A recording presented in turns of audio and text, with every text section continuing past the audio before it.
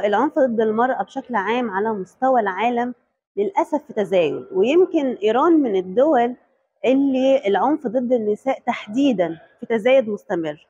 فبالتالي آه، أنا شايفة إن الحراك النسوي سواء في إيران أو في الدول الأخرى يمكن الحادثة اللي قبل دي كان في حراك آه، نسوي آه، عالمي.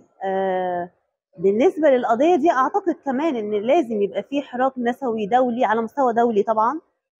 ولكن هيبدأ من إيران. أعتقد إن النسويات الإيرانيات هم ليهم قوة كبيرة آه، داخل المجتمع آه، الإيراني بالرغم من طبعا الضغوط اللي هم بيواجهوها ولكن هم صوتهم بيقدروا يوصلوا أو يوصلوا صوتهم بشكل كبير جدا للعالم. فأعتقد إن هيبقى في حراك نسوي عالمي ضاغط سواء على الحكومة الإيرانية أو على الحكومات آه، العربية كمان لأن كتير من النساء في الوطن العربي بيتعرضوا للعنف بشكل مستمر وبشكل يومي يمكن إحنا تحديدا في مصر آه تقريبا كل يوم آه ممكن تموت ثلاث آه ستات اتقتلوا على إيد سواء بقى شريكهم الزوج أو آه، خطيبها أو أبوها أو أخوها فبالتالي العنف موجود على مستوى العالم كله وتحديدا في الدول العربية ويمكن إيران من الدول اللي العنف ضد المرأة فيها في التزايد بسبب الثقافة المجتمعية الضاغطة والرافضة لتحرر النساء خاصة فكرة الحجاب والضغط على النساء في ارتداء الحجاب. أولا محتاجين مساندة يعني مهم إن يبقى في مساندة آه، من النساء على مستوى العالم كله وتحديدا كمان على المستوى العربي.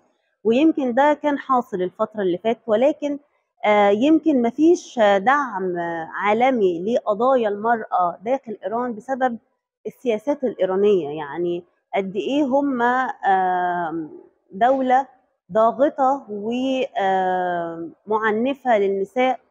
فبالتالي مفيش أي يمكن دعم أو مساندة بشكل عالمي. يمكن الدعم والمساندة بتيجي من الدول العربية أكتر آه، لأنها دولة إسلامية فبالتالي الدول العربية أو النسويات العربيات بيبقوا داعمين أكتر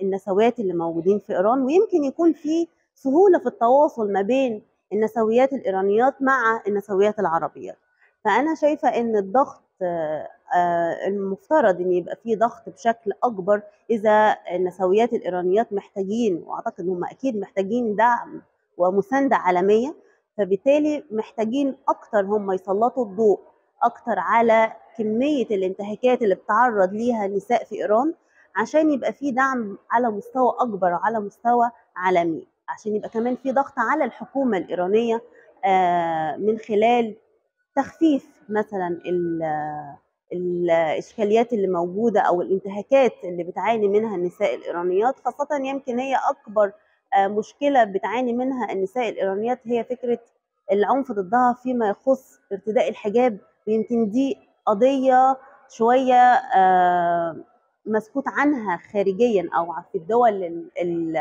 العالمية والأجنبية. فبالتالي إحنا محتاجين يبقى في دعم بشكل أكبر ويبقى في مساندة بشكل أكبر سواء على مستوى الدول العربية أو النسويات اللي موجودين على آه، المستوى العالمي. إحنا يمكن الفترة اللي فاتت كان في حملة إلكترونية فيها مجموعة من النسويات العربيات مع نسويات إيرانيات بنتكلم فيها عن العنف بشكل عام وتحديدا اللي بيحصل في مصر واللي بيحصل في إيران. وأعتقد إن الحملات الإلكترونية بيكون ليها صدى كبير جدا وبيوصل آه، لعدد كبير من الناس وعدد كبير من الدول. الدول فأعتقد إن آه، لو اشتغلنا على حملات إلكترونية آه، متخططة وممنهجة بشكل كويس جدا ممكن نقدر إن إحنا نوصل صوتنا آه، لباقي الدول الأجنبية.